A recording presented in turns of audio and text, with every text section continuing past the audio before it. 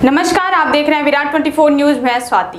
अगली खबर में बात करते हैं रीवा की, जहाँ जिला पंचायत के मुख्य कार्यपालन अधिकारी स्वप्निन वारखेड़े ने ग्राम पंचायत भलुहा कोठार के नवनिर्वाचित सरपंच योगेंद्र शुक्ला एवं उनके पुत्रों द्वारा ग्राम रोज़गार सहायक को परेशान करने एवं शासकीय कार्य में बाधा उत्पन्न करने पर पद से पृथक करने के लिए कारण बताओ नोटिस जारी किया है। जिला पंचायत के मुख्य कार्यपालन अधिकारी ने बताया कि ग्राम रोज़गार सहायक पूनम पांडे ने शिकायती पत्र में उल्लेख किया है कि 15 अगस्त को आयोजित ग्राम सभा में सरपंच स्वयं उपस्थित न होकर अपने पुत्र एवं भतीजे को भेजकर ग्राम सभा संचालित करने एवं ग्राम सभा में अपने बड़े भाई राम रक्षा शुक्ला को मुख्य अतिथि के रूप में बैठाकर ग्राम सभा को अनाधिकृत रूप से संचालित कराया गया। सरपंच के पुत्र अनिरुद्ध शुक्ला सेल्समैन के पद पर कार्यरत हैं। ग्रामवासियों को आवंटित खाद्यान्न वितरित नहीं किया गया और शराब पीकर अभद्र भाषा का प्रयोग किया गया। इस पर जिला पंचायत के मुख्य कार्यपालन अधिकारी ने सरपंच योगेंद्र शुक्ला को पद से पृथक करने के लिए कारण बताओ नोटिस जारी की है। सर्व सुविधा युक्त नेशनल हॉस्पिटल समान तिराहा, रीवा में।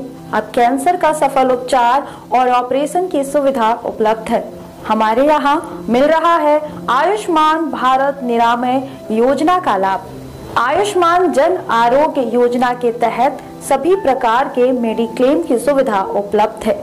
हमारे यहाँ लेजर कैंसर, अस्थि रोग, एंडोस्कोपी, लेप्रोस्कोपी एवं प्रसूति रोग का अनुभवी चिकित्सकों के द्वारा उपचार किया जाता है। कैंसर के इलाज एवं ऑपरेशन अब रीवा के नेशनल अस्पताल में उपलब्ध है। नेशनल हॉस्पिटल के संचालक डॉक्टर अखिलेश पटेल के द्वारा उपलब्ध करवाई जा रही हैं सभी सुविधाएँ। आयुष्मान से संबंधित किसी भी प्रकार की जानकारी के लिए संपर्क करें। मोबाइल नंबर नौ छ नौ एक दो आठ आठ पाँच छ शून्य पर या फिर संपर्क करें सात पाँच छ छ आठ तीन एक पाँच पाँच एक पर। हमारा पता है नेशनल हॉस्पिटल समान तिराहा रीवा।